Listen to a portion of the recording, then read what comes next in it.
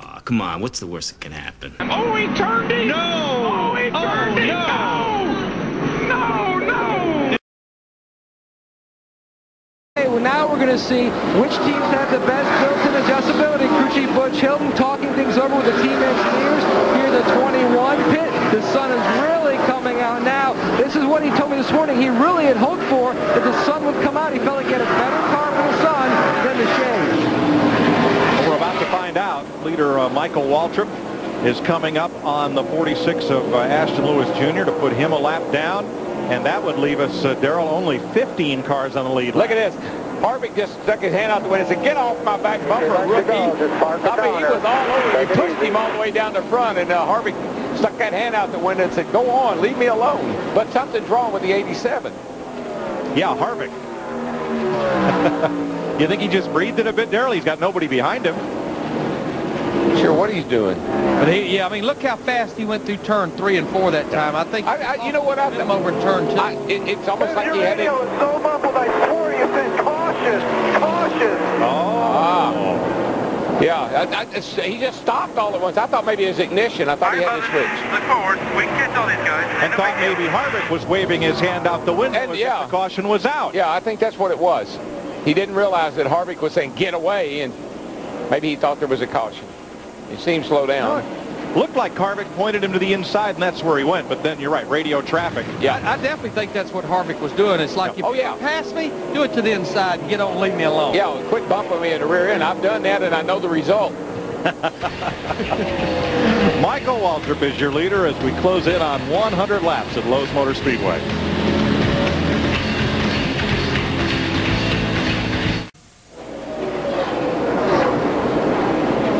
Wimmer and Bobby Hamilton Jr. have gone a lap down. Four, 13 cars now on the lead lap. Hank Parker is the last of those as Michael Waltrip continues to put on a driving demonstration here at Lowe's Motor Speedway. Yeah, we talk about this track changing. Remember, when this race started, it was 81 degrees. Now with the sun out, it's climbing in a hurry. Just in the last 10 laps, it's climbed 10 degrees. It's the hottest it's Oh. been, 93 degrees. Shane Hmiel, turn one. Caution is out. Caution is out. He had been smoking for several laps. Yeah, I was just going to say that puff of smoke that we saw down the middle of the turn was going to get worse. And that was a big, big break for like Hank Parker Jr. Ooh, and maybe Ashton Lewis got his lap back. That was really close at the line. Meanwhile, Kurt Busch finally recovered from that radio mistransmission and worked his way past Kevin Harvick. Third place. Coming off turn four onto the front stretch. He'd been much quicker than Kevin for several, several laps. Kyle Busch, excuse me. Darrell's the only one who hadn't called him Kurt yet. I'm just, I'm just calling him rookie. yeah. Did Ashton Lewis make it? I think he did. Uh, I don't know. If you look at it from that, From there he did. yeah, from there he did. But how about at the beginning of that? But from two doors down in the NASCAR booth, that's where it matters. and, and on the score monitor, they are showing him back on the lead lap, so that'll be 14 cars on the lead lap, and everybody will be to pit road. A lot of them wanting to make adjustments here. I'm sure it'll be four tires full of fuel. Nobody can make it on one stop from here, though. And Larry, this kind of fits into your plan. You've not used up a set of your allotted tires because you've not pitted under caution yet. The only time those three sets go against you is under caution, not under green. Here comes all the leaders to pit road.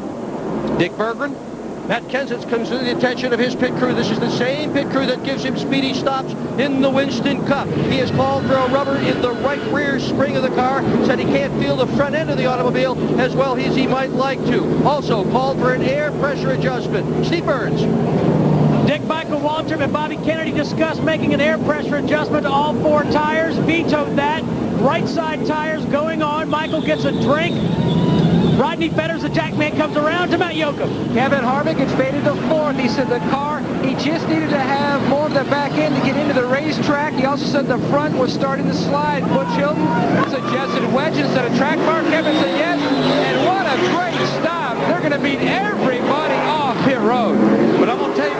you what, Matt Yocum, let me tell you two teams that had great stops. Matt Kenseth, you heard him talking about put a rubber in the right rear. Whenever you do that, that costs you a lot of time. They still had a good stop. And the Kyle Busch crew, he overshot his pits, was across the line. They had to back him up, and he still had a great pit stop. Something went on in the 17th vent, though, Larry. I saw it. The rear tire was turning before they let the jack down. I, I, I, I think he made it out okay, but he had a little problem there.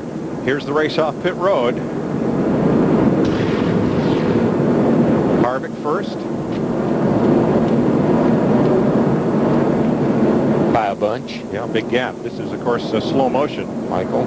Michael second. You're going to see Kyle Busch and Blaney and Kenton. And one thing that really helped Kevin Harvick, we talk about this a lot, especially under caution. He sat on the pole. He had the first selection of the pit boxes, and he's pitting right at the exit of pit road. He didn't have to move very far to win that race off pit road.